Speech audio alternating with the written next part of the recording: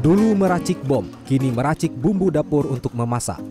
Inilah yang dilakukan beberapa mantan narapidana kasus terorisme di Semarang. Adalah Mahmudi Haryono alias Yusuf, Sri Puji Mulyo Siswanto, dan Nur Afifuddin.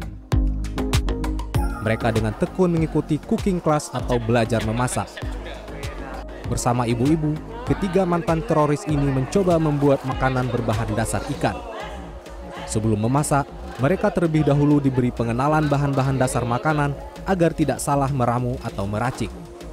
Kami dilengkapi skill, yaitu pemberian keterampilan untuk e, berbagai macam menu masak dari olahan ikan. Jadi diharapkan kita bisa mandiri di rumah dan tentunya bisa mandiri, syukur-syukur bisa outlet e, untuk keperluan bisa jualan. Nah itu e, level berikutnya dari peningkatan skill yang kita punya.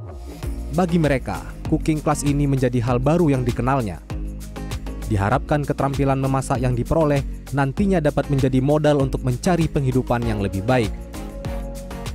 Ya, memang awalnya hasil koordinasi kami dengan Satbimas Mas Purnomo eh, bagaimana kita berupaya memberdayakan ya pemerintah kota, Bapak Wali Kota memberdayakan mantan ex napiter ini untuk bisa bangkit kembali ke, untuk hidup di masyarakat. Dan harapannya dengan diberi keterampilan ini bisa menjadi usaha keluarga atau usaha, usaha perumahan. Pelatihan memasak ini sengaja diberikan oleh Polri dan BNPT kepada mantan teroris sebagai bentuk bantuan deradikalisasi pelaku terorisme.